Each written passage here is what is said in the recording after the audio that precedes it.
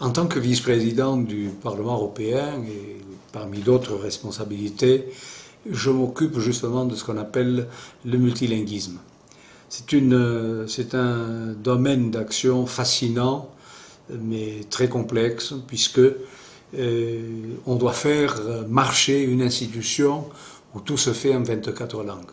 Il n'y a, ni, précédent ni de parallèle. Il n'existe aucune autre institution au monde, y compris les institutions communautaires, où l'on travaille en 24 langues. On a tendance à, faire des langues de travail, dit-on, euh, qui finissent par n'être qu'une seule langue de travail.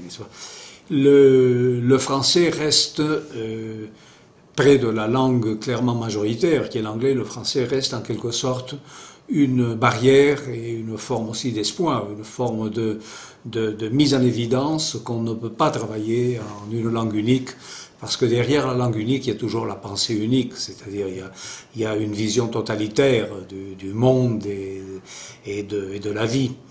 Et je suis bien placé pour, euh, pour avoir le plus grand respect la plus grande gratitude, la plus grande reconnaissance pour le français, puisque j'appartiens à un groupe d'enfants, d'une cinquantaine d'enfants, euh, espagnols, garçons et filles, dont, dont le père euh, était soit fusillé, soit condamné à mort pour cause de résistance antifasciste en 1945, à l'heure de la libération, et nous avons eu le, privilège immense euh, d'être éduqués, d'être élevés euh, dans l'éducation française et dans l'éducation du français, au lycée français à Madrid ou au lycée à Barcelone, qui étaient les deux centres qui existaient dans le temps.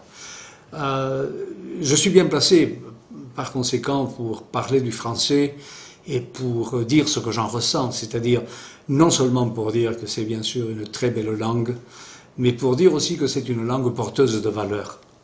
Euh, ce n'est pas pour rien que, que, le triangle liberté, égalité, fraternité euh, est, inscrit en lettres d'or euh, sur le marbre en cette langue que, que nous pratiquons toujours avec beaucoup de plaisir. C'est une langue qui enrichit celui qui la connaît, celui qui l'utilise. Probablement, on peut dire cela d'ailleurs de, beaucoup de langues, pour ne pas dire de toutes langues. Mais c'est évident que le français, dans l'histoire, euh, est une langue euh, qui, qui, a beaucoup, beaucoup apporté infiniment d'hommes et de femmes, et pas seulement en France, je vous dis. Le, le, multilinguisme, je vous disais, à l'Union européenne, mais surtout au Parlement européen, est un signe d'identité. Et le français est très important là-dedans aussi, parce que, vous voyez, le, les langues des pays membres, c'est-à-dire les 24 langues à l'heure actuelle avec le croate, euh, les langues des, des, pays membres sont indispensables pour communiquer entre nous. Mais en tant qu'acteur global sur la scène internationale, l'Union européenne doit avoir des relations euh, intenses avec des partenaires qui sont à leur tour des, acteurs globaux. Et là, le français reste une langue de communication euh, très prioritaire. Notre, notre communication avec l'Afrique, qui est quand même le continent le plus proche, euh, le plus intéressant, a bien des bien des aspects pour l'Europe. Le, français reste, une langue véhiculaire extrêmement importante pour la projection de l'Union européenne et du Parlement européen euh, à l'extérieur de, nos frontières et dans les relations que euh, nous voulons établir et nous avons besoin d'établir avec des partenaires à l'extérieur même de nos frontières. Donc euh, le français reste essentiel euh, et dans notre vie intérieure et dans la vie à l'extérieur.